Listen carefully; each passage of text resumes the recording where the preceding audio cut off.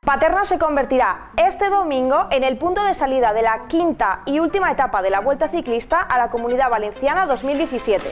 Mañana a las 7 y media de la tarde tendrá lugar un gran correfoc en honor a la festividad de San Antonio. El espectáculo saldrá desde el Quatre Cantons hasta llegar a la Plaza del Pueblo. Una sentencia permite abrir el tanatorio en el casco urbano de Paterna, una decisión con gran rechazo entre los vecinos. Se acabaron los robos en campamento. La policía local de Paterna pone fin a la oleada de robos en vehículos en este barrio con la detención de los presuntos delincuentes. El próximo viernes tienes una cita con la actualidad informativa. Yo soy Irma Clemente y esto es Home TV, tu canal en Paterna.